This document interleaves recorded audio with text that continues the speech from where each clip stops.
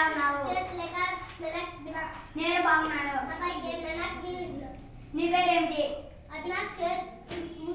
నా పేరు చందు.